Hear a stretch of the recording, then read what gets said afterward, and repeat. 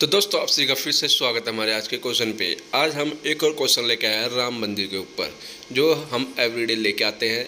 हम everyday quiz लेके आते हैं थ्री क्विज अपडेट होते हैं बट अभी हम आपको क्वेश्चंस करेंगे और हम आपको डायरेक्ट ही उसका जवाब भी बता देंगे।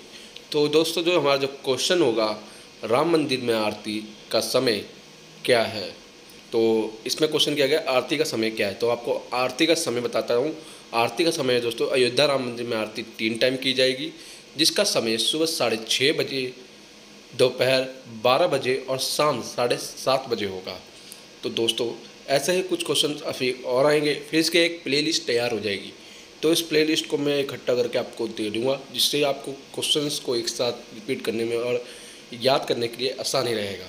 तो ऐसे ही हमारे क्वेश्चन के लिए देखने के लिए हमें फॉलो कीजिए लाइक कीजिए कमेंट कीजिए शेयर कीजिए। धन्यवाद वीडियो तक को एंड तक देखने के लिए।